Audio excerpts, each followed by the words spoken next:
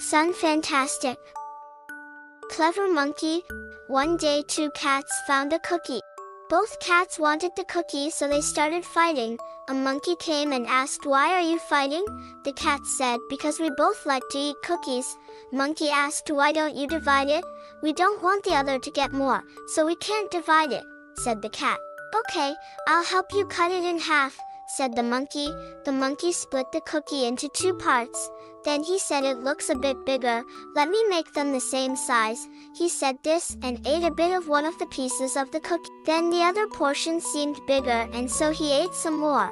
The cats were so busy fighting each other that they didn't notice that the monkey was eating cookies. Meanwhile, the monkey ate all the cookies. The cats didn't have any more cookies just because they were busy fighting. When the cats saw the monkey running away, they knew they had to cooperate and split the cookie. The moral conclusion of the story, when you fight, others always benefit. The end. Don't forget, like, comment, subscribe. Thank you for watching.